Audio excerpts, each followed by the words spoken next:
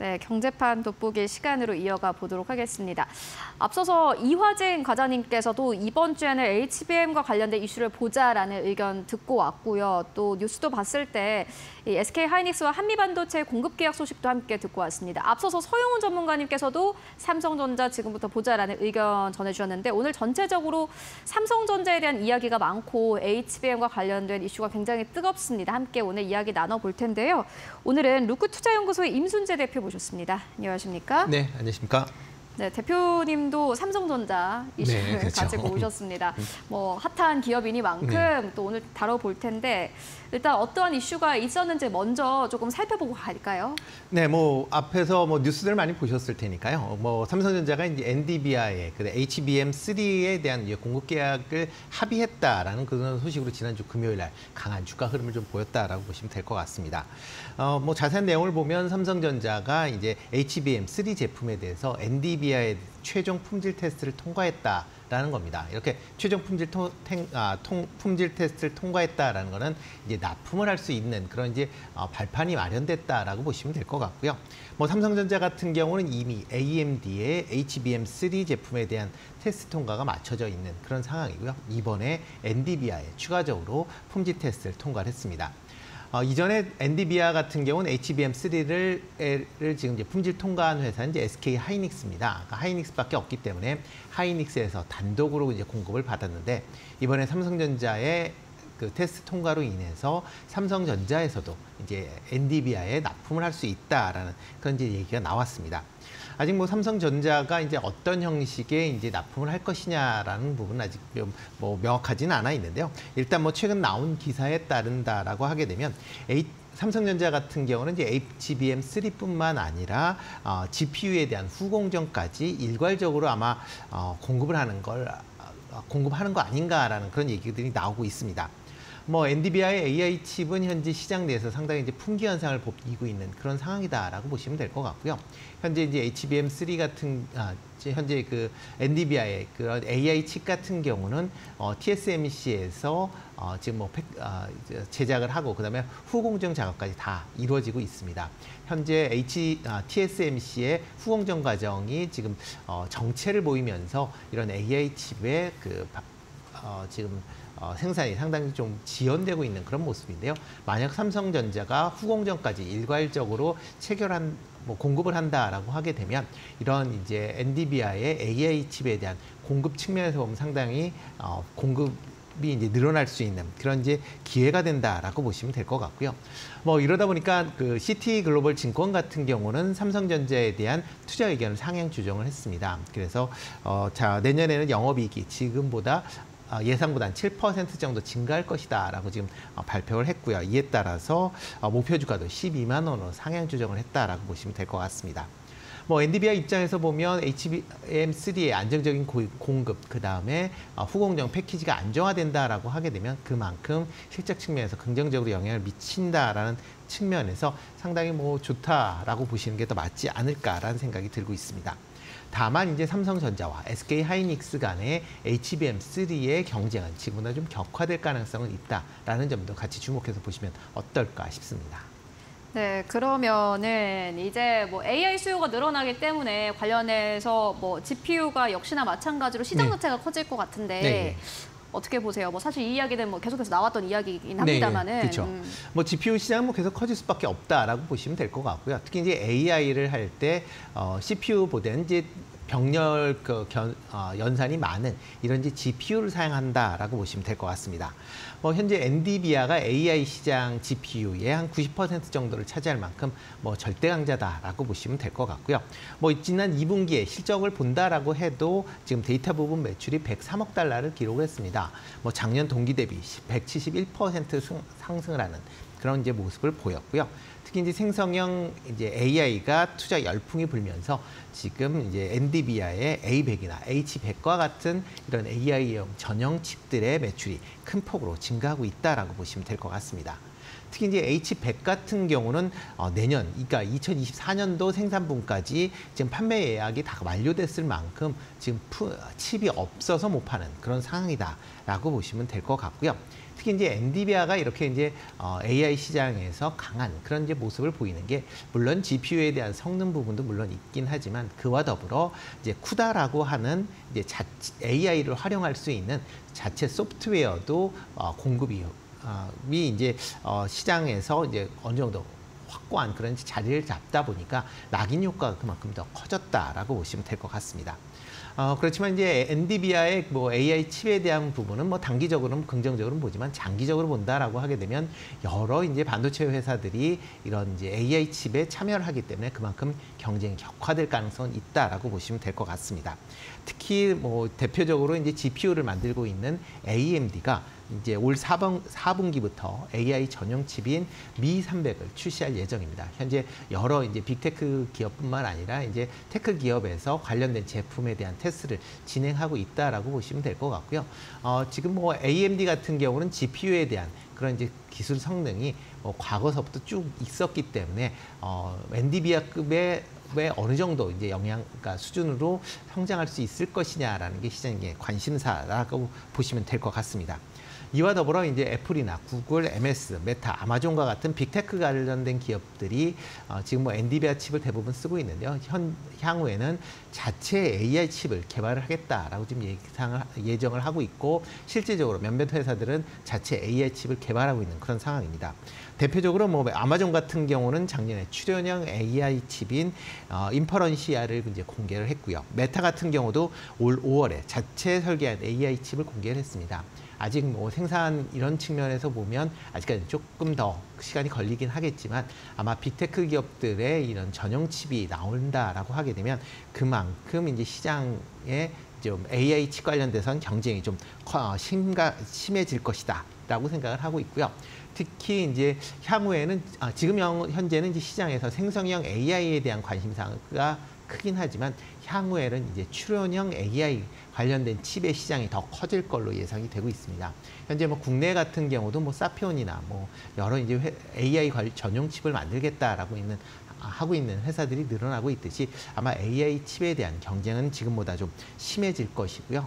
뭐 그렇다라고 하게 되면 뭐 현재 AI 칩 관련된 회사보다는 아마 HBM 관련된 그런 회사 쪽으로 좀 더 관심을 가지시는 게 뭐 중장기적으로는 더 관, 맞지 않을까라는 생각을 해보고 있습니다. 그렇다면 HBM 반도체 수요가 증가할 텐데 네. 어느 정도 증가하는지 뭐 규모라든지 좀 현재 추산되는 금액 자체가 있습니까? 현재 추산하기는 조금 어렵다라고 보시면 될 것 같습니다. 왜냐하면 이제 HBM AI 관련된 시장이 얼마만큼 클 거에 대한 부분은 여전히 조금 뭐 어, 남아 있는 그런 상황이고요.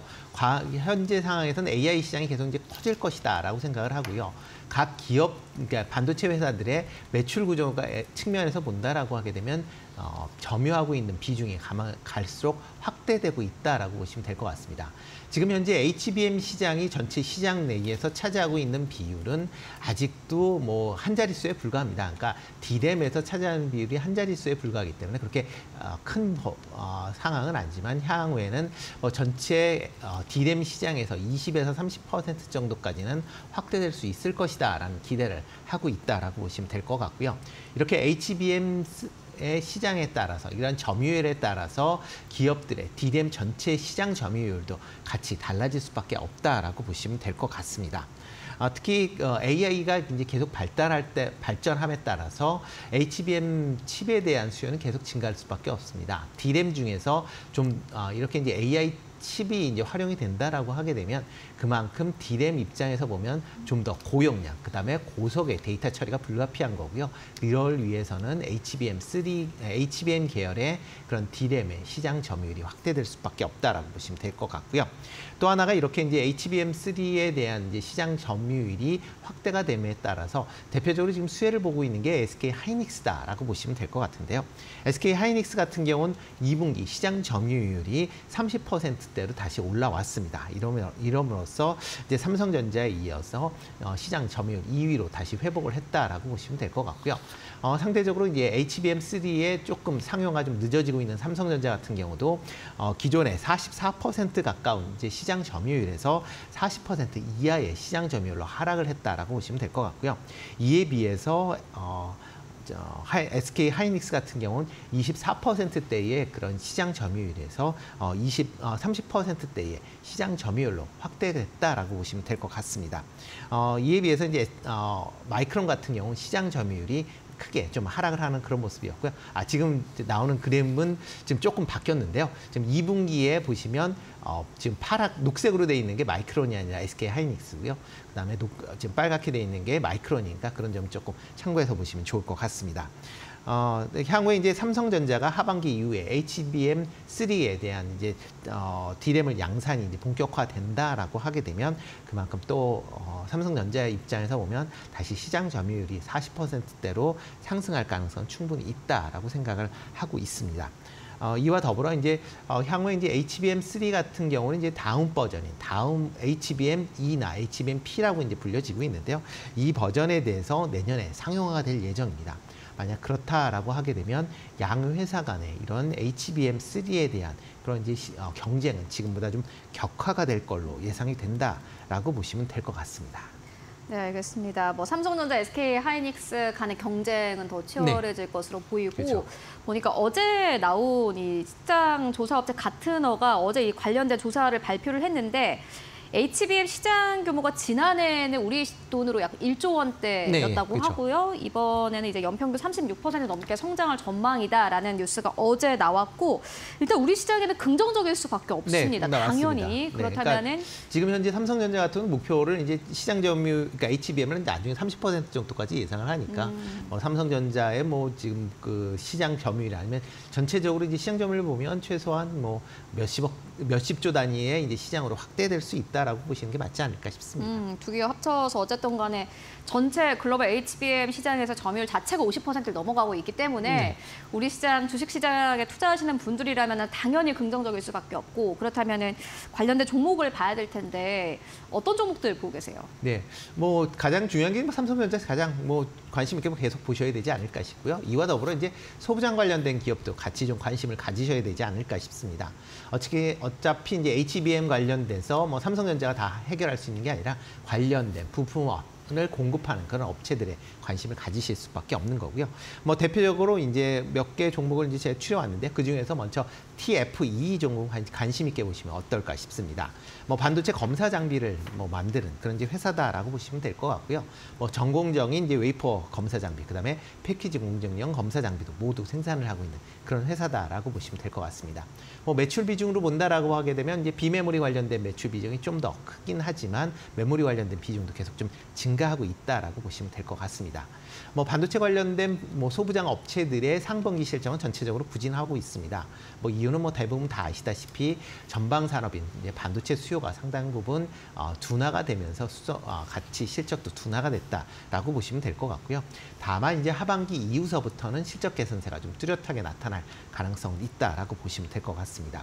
특히 HBM3나 아니면 DDR5와 같은 첨단 그런 이제 고성능 제품에 대한 판매가 확대가 되면서 관련된 제품의 공급도 증가할 걸로 예상이 되고 있고요. 뭐 그런 그런 관점에서 보면 상당히 좀 긍정적으로 보시면 좋을 것 같고요. 이와 더불어 지금 어, 대표적인 이제 검사 장비 업체인 ISC 같은 경우에 어, 최근에 이제 SK 그룹으로 편입이 됐습니다. 그렇다 보니까 뭐 사- 경쟁 업체인 삼성전자에서 ISC 제품을 물론 현재 많이 쓰고는 있지만 향후에는 점차 그 점유율이 조금씩 줄어들 가능성은 있다라고 보여지고요. 그렇다 보면 이런 이제 SK와 상대적으로 관계가 없는 TFE가 상대적인 수혜가를 입을 가능성은 있다라는 관점에서 접근해 보시면 어떨까라는 생각을 해보고 있습니다. 뭐 최근 뭐 주가도 뭐 좋은 흐름을 지금 이어가고 있는 그런 상황이다라고 보시면 될 것 같고요. 뭐 매수는 한 3만 5천 원, 그다음에 목표 가격은 4만 원, 그다음 손절은 2만 7천 원 정도에 하시면 어떨까라는 생각을 해보고 있고 있습니다. 그리고 그 다음에는 이오 테크닉스 조금 관심 있게 보시면 어떨까 싶고요. 뭐 레이저를 활용한 레이저 이제 장, 장비를 만드는 이제 그런 업체다라고 보시면 될 것 같습니다. 뭐 레이저 장비를 이용하기 때문에 이제 미세 공정 관련된 분야에 많이 사용을 한다라고 보시면 될 것 같고요. 뭐 대표적으로 이제 반도체나 디스플레이, 그다음에 PCB 같은 다양한 분야에 사용을 하고 있는 그런 상황이다라고 보시면 되겠습니다. 뭐 이오 테크닉스도 상반기 실적으로 좀 부진한 그런 모습을 보였는데요. 아마 하반기 이후에 실적 개선세 기대감으로 최근에 주가도 좀 올라가고 있는 그런 상황이다라고 보시면 될 것 같습니다. 특히 이제 H, 삼성전자의 HBM3와 상용화에 관련돼서 뭐 수혜를 입을 것이다라는 기대감이 시장에서 좀 크게 작용을 하고 있다라고 보시면 될 것 같고요. 특히 이제 고성능 장비일 경우에는 이제 어, 좀 더 이제 미세화 공정이기 때문에 이런 뭐 다른 장비보다 이제 레이저 관련된 그런 장비들의 사용량이 증가할 수밖에 없다라고 보시면 될 것 같습니다. 뭐 그런 관점에서 보면 이오 테크닉스 같은 경우 여전히 관심 있게 좀 보시면 좋을 것 같고요. 최근 어, 한달 동안 이제 외국인이 한 28만 주 정도 매수를 했고요. 기관 같은 경우도 4거래일 연속 지금 한 9만 주 가까이 순매수를 보였습니다. 뭐 한 달 기준으로 보면 한 13만 주 정도 매수할 만큼 기관 외국인이 꾸준한 관심 사항을 갖고 있다는 것도 주목해서 보시면 좋을 것 같습니다. 뭐 매수 가격은 한 18만 원 선에서 매수하시면 어떨까 싶고요. 목표 가격은 22만 원. 손절은 15만 원 정도에 하시면 좋을 것 같습니다. 그리고 마지막으로 이제 프로텍 같은 경우도 좀 관심 있게 보시면 어떨까 싶은데요. 뭐 반도체 후공정 장비 업체입니다. 뭐 dispenser나 뭐 반도체용 레이저 bonding 장비를 만드는 그런 이제 회사다라고 보시면 될 것 같고요. 뭐 프로텍 같은 경우도 이제 레이저 bonding 장비에 대한 그런 이제 수요가 증가할 것이다라는 기대감으로 어 최근에 주가 흐름도 뭐 나쁘지 않은 그런 모습을 좀 보이고 있습니다. 특히 레이저 bonding 장비가 지금 앰코와 기존의 독점 관계였다가 이게 독점이 풀리면서 이제 다른 이제 반도체 업체에도 이제 공급을 할 수 있다라고 보시면 될 것 같고요. 특히 TSMC가 관련된 장비에 대해서 관심을 많이 갖고 있었다라는 그런 이제 얘기들이 나오기 때문에 TSMC로도의 장비 납품에 대한 기대감도 여전히 있다라는 점도 같이 주목해서 보시면 좋을 것 같습니다. 뭐 최근 어, 기관이 4거래일 연속 한 7만 주 정도 매수했다라는 점도 관심 있게 보시면 좋을 것 같고요. 뭐 매수 가격은 뭐 현재 가격 정도 뭐 5만 천 원대, 5만 원대에서 매수를 하시면 어떨까 싶고요. 그다음 목표 가격은 6만 원, 손절은 4만 원에 하시면 좋을 것 같습니다. 네, 세 가지 기업에 대한 의견 듣고 왔습니다. 먼저 첫 번째로는 TFE, 두 번째는 이오테크닉스, 세 번째는 프로텍인데 그렇다면 대형주를 조금 더 짚고 갈까요? 삼성전자, SK하이닉스 살짝 좀 비교를 해볼게요.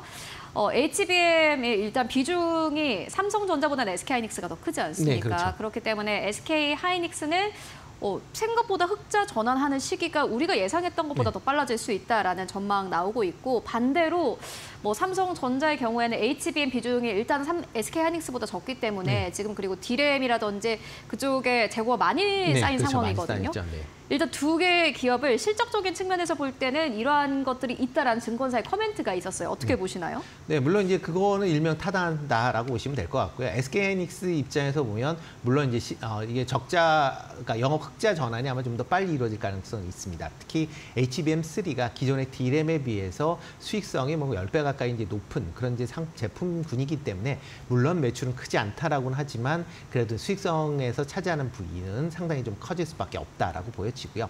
다만 이렇게 이제 삼성전자가 이제 시장에 같이 이제 HBM3를 그 NDBI에 지금 현재 SK 하이닉스가 이제 독점 나- 납품을 하고 있는데 삼성전자가 들어온다라고 하게 되면 이게 나눠질 수밖에 없습니다. 그러다 보면 SK 하이닉스 입장에서 지난 금요일 날 좀 주가가 약세했었던 이유가 향후에 그 수익성 그 매출이나 수익성이 상대적으로 좀 약화 악화될 가능성은 있다라고 보시면 될 것 같고요. 뭐 삼성전자 입장에서 보면 HBM3가 뭐 이제 새롭게 시작을 하기 때문에 뭐 긍정적으로 미칠 수는 있습니다. 그렇지만 삼성전자가 기본적으로 지금 낸드나 D램에 대해서 재고가 상당 부분 크게 있고 그 재고가 재, 소진되는 속도가 생각보다는 그렇게 빠르지는 않다라는 것도 있습니다. 그러니까 그렇기 때문에 삼성전자가 이런 HBM3에 대해서 매출이 나온다라는 게 긍정적으로 영향을 미칠 수는 있겠지만 그렇다고 실적이 확실히 지금 당장 뭐 좋아진다라기보다는 전반적으로 스마트폰이나 다른 IT 업 어, IT 제품들의 그런 이제 그 판매가 어떻게 이루어지는지도 같이 좀 주목해서 보셔야 되지 않을까라는 생각을 해보고 있습니다. 네, 알겠습니다. 지금까지 로코 투자연구소의 임순재 대표와 함께했습니다. 오늘 고맙습니다. 네, 고맙습니다.